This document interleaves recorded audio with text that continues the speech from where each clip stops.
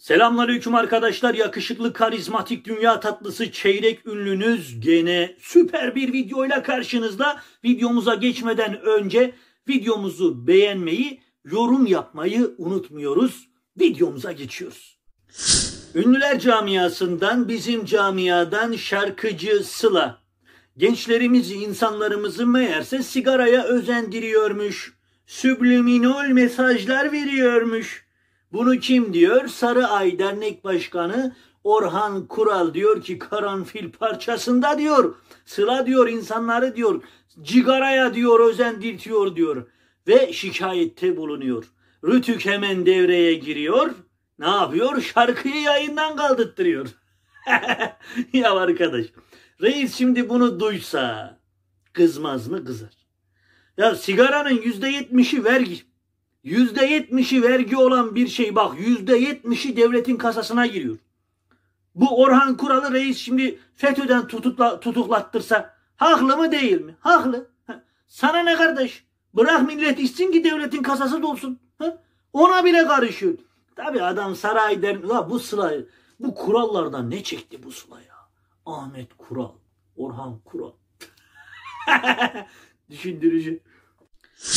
Ülkemizi etkisi altına alan zıkkımın kökü hastalığının ikinci dalgası gelecek mi geliyor mu? Gelirse osuruğumuzu kordügüm eder mi etmez mi? Uzmanlar bunu tartışa dursun. Ülkemizde maalesef düğünler tüm hızıyla devam ediyor. Tekirdağ'da bir çiftimiz zıkkımın kökü hastalığına yakalanmamak için düğünde cansız manken kullanıyor. Mankenlere gelinlik ve damatlık giydiriyor. Düğüne gelen misafirler takılarını cansız mankenlere takıyorlar otomatikmen gelin ve damat zıkkımın kökü hastalığına karşı korunuyor. Peki herkes öyle mi? Maalesef herkes öyle değil. Adam eğilmiş yerden ağzıyla para alıyor. Bunun gibi saçma sapan bir sürü video sosyal medyada geziyor. Arkadaşlar devir tam evlenme devri. Valla ne düğün var ne nişan var. Bir nikahtan alır gidersin elhamdülillah. Arkadaşlar buradan taliplerime sesleniyorum.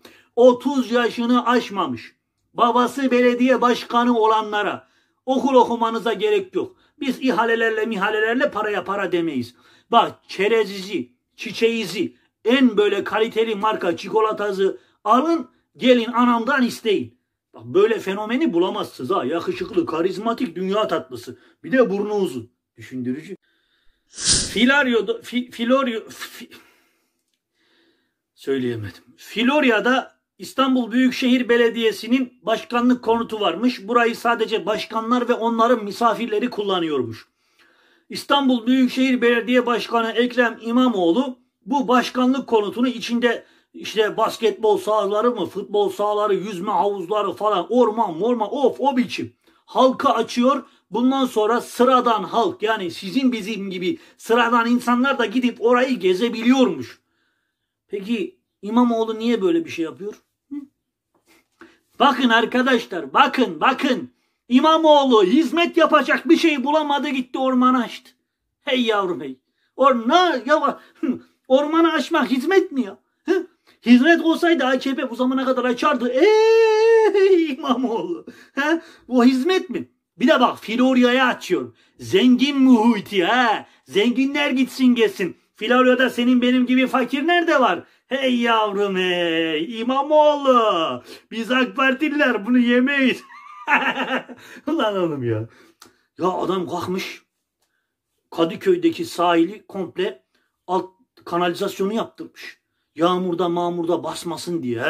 Ha, bunu da İmamoğlu yaptırmış ha. Bu zıkkımın kökü sürecinde insanlar fazla sokağa çıkmadığı için altyapı çalışmalarına önem vermiş. Ha, bunu da İmamoğlu yapmış. Bu da hizmet mi değil? Olsaydı AKP yapardı. Ey İmamoğlu. Lan ya. Allah akıl fikir versin. Düşündürüyor. Sakarya'da havai fişek fabrikasında çıkan yangın sonucunda 6 veya 7 kardeşimiz vefat etmişti. 118 kardeşimiz de yaralanmıştı. AKP her patlamadan sonra yapmış olduğu açıklamayı yapıyor. Bir daha bu tarz şeylerin yaşanmaması için gerekli tedbirleri, denetimleri yapacağız diyor. İyi de 11 yılda bu fabrika 5 defa yanmış be. Hı? Lan hepsinde de AKP iktidarda. 2009'da 2 defa, 2011'de, 2014'te, 2020'de. He? Hiçbirinde de bu tedbir almadığınızı gösteriyor veya doğru düzgün denetlemediğinizi gösteriyor. Bunların hepsini bir kenara bırakalım. Ya bu fabrikanın sahibi bak fabrika yanmış 6-7 işçi vefat etmiş 118 yaralı var. Adamı yemeğe götürmüşler moral yemeğine. Yemek veriyorlar. Ha, morali yerine gelsin. Fabrikası yandı ya. He. Sanki sigortadan oradan buradan para almayacak. Morali yerine gelmeyecek beyefendinin.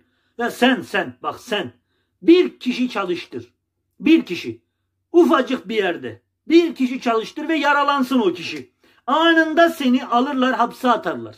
Sürüm sürüm süründürürler. Ocağını söndürürler. Ama kendi yandaşları, kendi adamları gerek 5 gerek 10 gerekse 20 la bırak 300 adam ölsün. Ne oldu Soma'da? He? Hepsi serbest kaldı. Hepsi serbest kaldı. Üzerine bir de Soma'dakiler gitti AKP'ye oy bastı.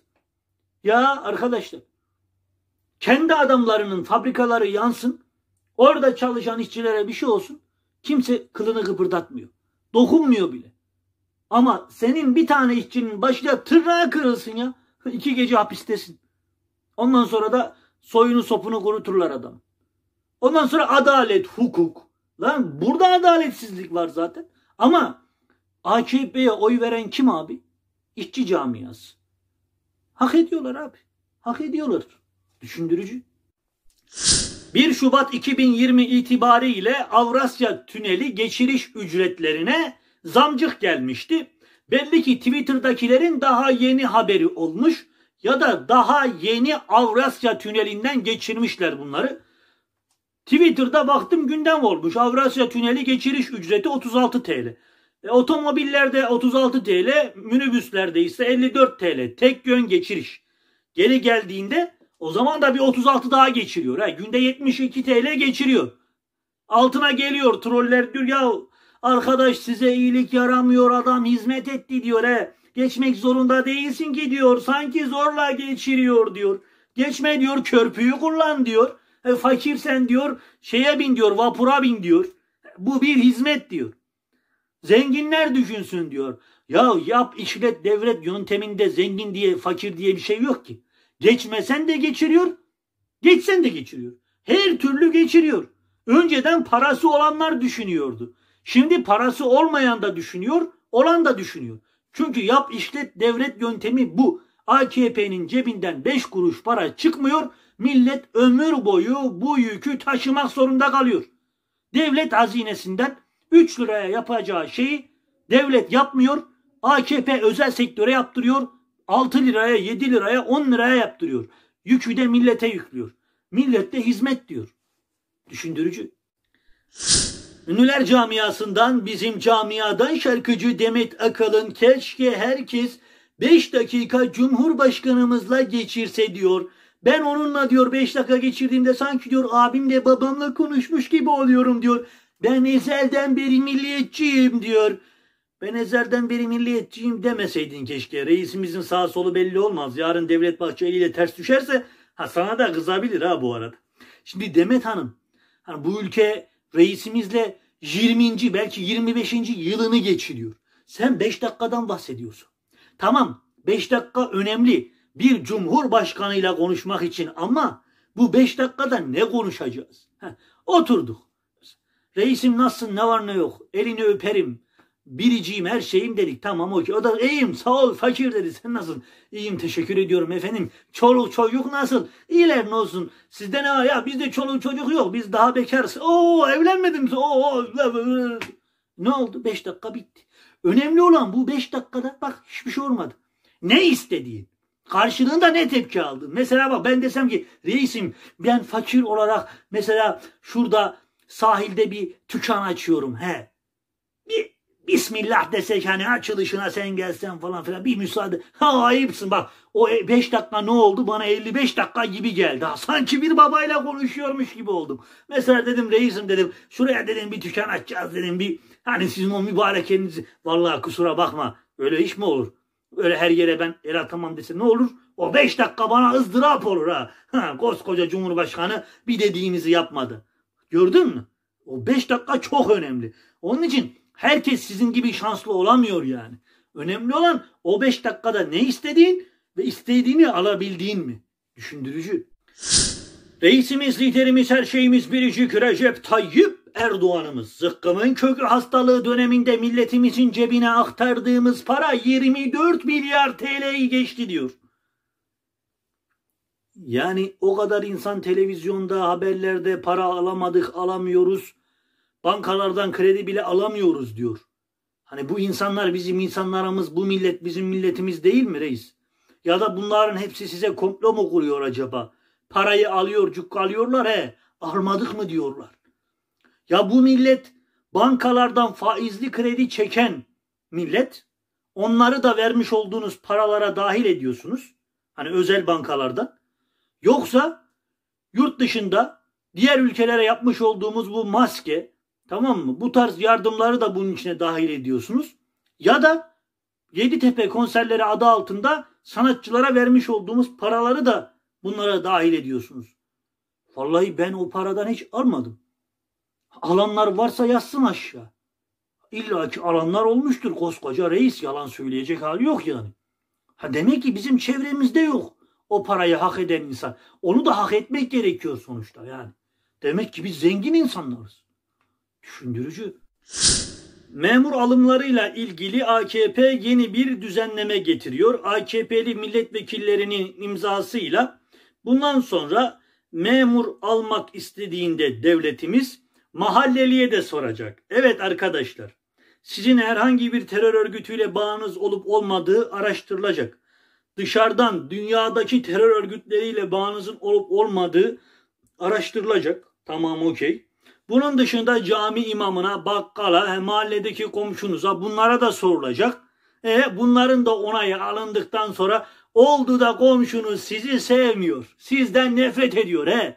Veya camının imamı veya bakkal. Ne olacak? Diyecek ki ola bu diyecek FETÖ'cü diyecek he. Diyecek ki bu diyecek DHKPC'li diyecek. Bu diyecek CHP'li Atatürkçü diyecek he. Bunlar alınmayacak. Vallahi on numara bak görüyorsunuz. Ya bunu bile şikayet ediyorlar. Ya bu sayede ne olacak? İnsanlar birbiriyle daha iyi anlaşacak, komşuluk artacak. Hani reisimizin AKP'nin düşündüğü bu. Eski o komşuluklar, o birbirimizin evine gidip gelmeler, birbirimize selamun aleyküm aleyküm selam demeler, sarılmalar, düğünlerde hep beraber halay çekmeler bunların hepsi işte böylece artmış olacak. Hep kötü yönünden bakıyorlar. Neymiş efendim? AKP böyle yaparak hak edenleri almayacak kamuya, hak etmeyenleri kendi adamlarını yerleştirecekmiş. Velev ki doğru. Velev ki yerleştirecek. Kime şikayet edecek? Kimseye şikayet. O zaman o zaman mutlu olacaksın. Düşündürücü. Evet arkadaşlar bize ayrılan sürenin sonuna gelmiş bulunmaktayız. Dinlediğiniz için teşekkür ediyorum. Bir kusurumuz olduysa affola hakkınızı helal edin. Daha güzel videolarda daha güzel konularla umarım görüşürüz. Allah'a emanet olun.